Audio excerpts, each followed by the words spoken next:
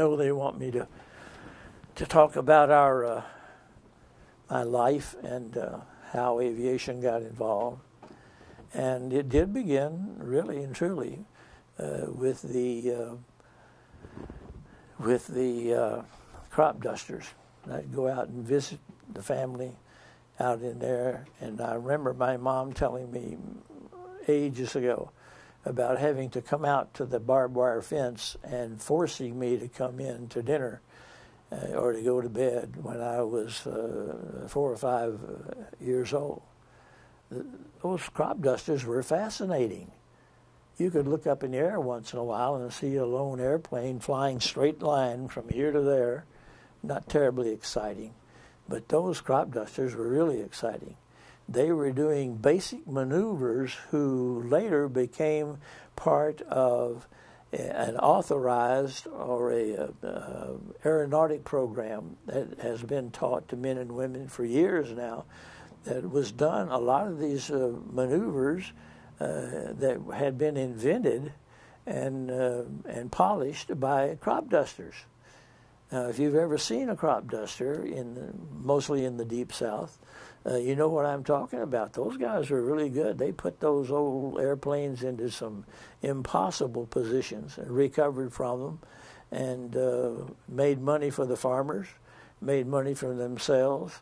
Uh, early on, they had more than their share of accidents, but as they became more proficient, and this is true with any part of aviation, once you became more proficient with the particular maneuver that you're trying to do, uh, the safer it becomes. I experienced that myself, and I know most other people my age who who knew what was going on in aviation before World War II. Uh, the most uh, we had a few air races, and some of them were, were not handled safely either. But gradually, partly because of the uh, of the uh, crop dusters, and partly because of some of the associations that were formed by racers and uh, and air show people, uh, which we know a lot about here because we we see the air racers and we have. Uh, association with officially and, and unofficially with people who are in the aeronautic business not acrobatics or aeronautics, okay, and, and aerobatics. That's the proper way to to uh, describe them. And uh, just very recently, we have another organization that people my age belong to called the UFOs. What's a UFO? It's not an unidentified flying object. No. It's a uh,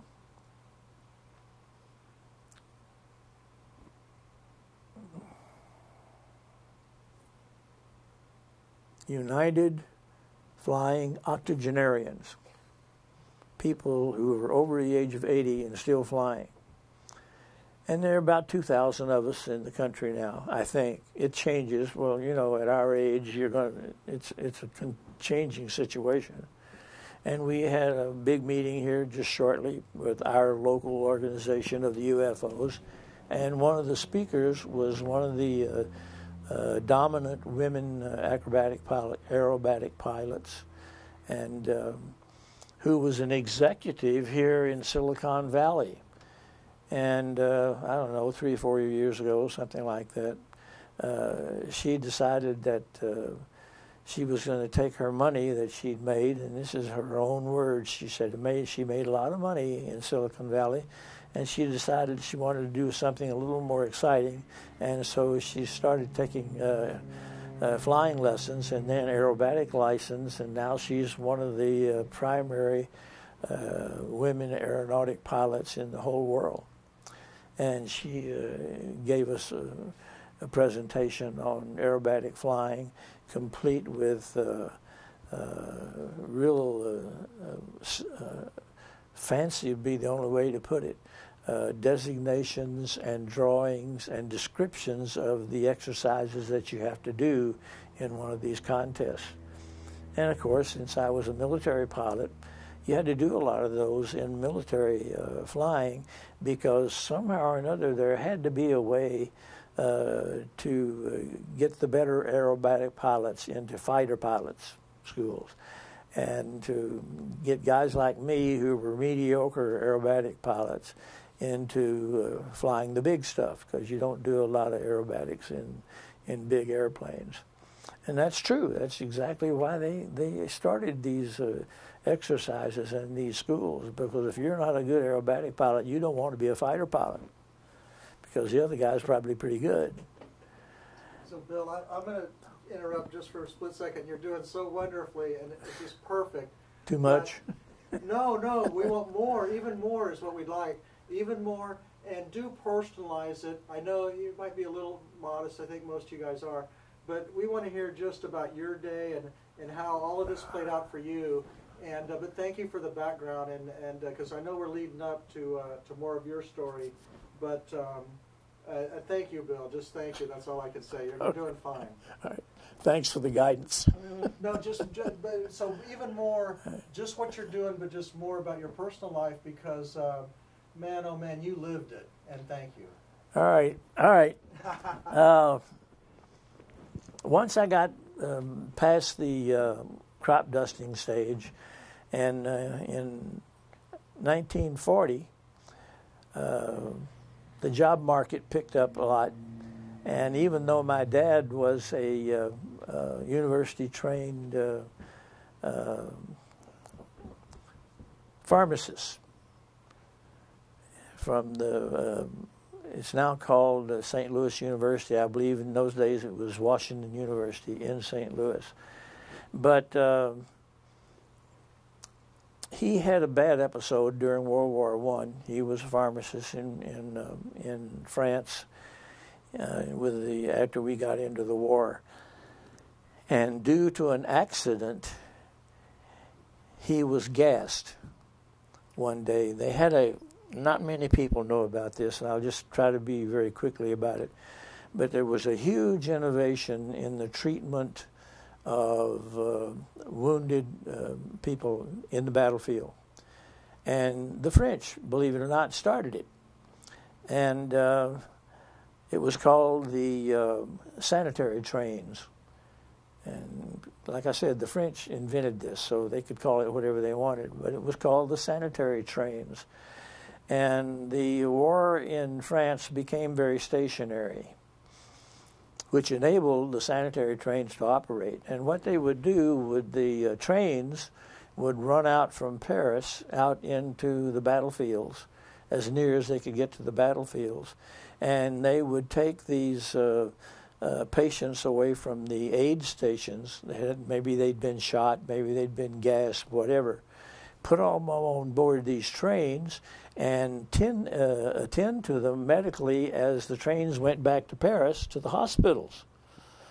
Um, believe it or not, you can look these things up on uh, on if you want to get on the internet someday and and just uh, type in sanitary trains and see what comes up. It's fascinating what these people did.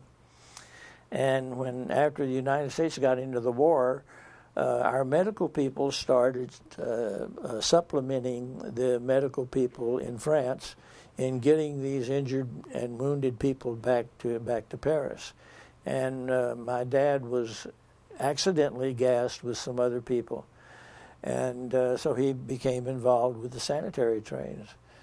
And uh, he recovered substantially from the damage to his eyes, but he never really discovered from the uh, damage to his lungs and uh, had a lot of trouble with that. And he had to give it up because when he got back to the States, uh, the uh, material in those days had to be compounded into little tablets or liquids. And he developed allergies, very severe allergies to these compounds. And he just had to, had, if he wanted to live any longer, he had to give up the pharmaceutical business and he uh, at that time was operating a drugstore in our hometown of Osceola. So anyway, uh, the depression came in in the uh, in the 30s, and really didn't. We really didn't start coming out of the depression and providing a lot of jobs for whoever wanted them until World War II came along. And uh, so, Bill, I'm going to stop real quick and do, tell us a little bit about that time in your life. This is really interesting to us. Yeah. Thank you, Bill. Okay. Anyway, uh, we were still living in Osceola, and uh, my dad's medical condition got to be so bad that he sold his drugstore and uh, got out of the pharmaceutical business around 1926 or 27 and the only reason I knew about it, he never told me about this. The only reason I knew about it was because uh, my uncle, not his brother, but my mother's sister's husband, became my dad's best friend. And he told me about this uh, after my dad passed away. And he decided to take the money that he uh, got out of selling the, the, the drug business and uh, get into the uh, uh, the business of repairing and certifying radios and uh, uh, refrigerators. They all became prominent and popular about the same time. And he really enjoyed that. But the Depression knocked the legs out from under that business. And um, I guess by the time uh, we got into the war in in uh, in uh, 1941, things were pretty desperate for our family. Uh, we were always, uh, you know, we got along okay because we had plenty of of a family living in the outskirts of Osceola who were farmers, and uh, my grandpa was a fabulous. gardener, and we had this huge garden out in the backyard, and so we had plenty to eat, and we had uh, and we had uh, clothes. My grandma was quite a quite a seamstress.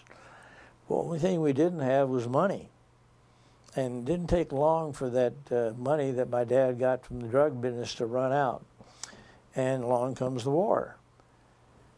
All of a sudden, after Pearl Harbor, our uh, country was obviously going to be in the in the war in a big way, and underneath the topsoil in the state of Arkansas are huge deposits of bauxite, and Alcoa, the aluminum company, started mining this uh, bauxite that had previously been imported and was now impossible because of the shipping shortages and they started digging an awful lot of bauxite out of the uh, soil in Arkansas, and they built this monster aluminum plant in Little Rock, which is the capital of Arkansas. And uh,